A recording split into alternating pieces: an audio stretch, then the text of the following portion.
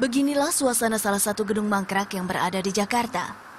Berdiri di Jalan Letjen MT Haryono, Jakarta Timur, Menara Saidah ini tidak beraktivitas sejak tahun 2007 karena bermasalah konstruksinya.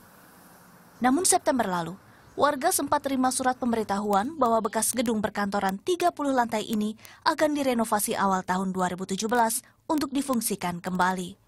Dengar-dengar mau difungsikan lagi di 2017, dengar-dengar soalnya mereka udah turun ke bawah minta izin warga lurah, ada suratnya me, untuk uh, mengaktifkan kembali. Cuman fungsinya untuk apa kita nggak tahu apa buat kantor kembali atau buat apartemen kita nggak tahu gitu.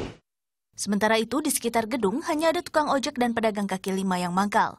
Pagar seng menutup akses masuk ke dalam gedung. Ya sepi aja nggak ada yang datang. Oke sepi, nggak nggak pernah dibuka, ditutup terus. Soalnya nggak ada orang boleh masuk. Sebelumnya gedung ini berfungsi sebagai perkantoran, namun karena struktur yang dianggap miring dan membahayakan, maka tidak digunakan kembali.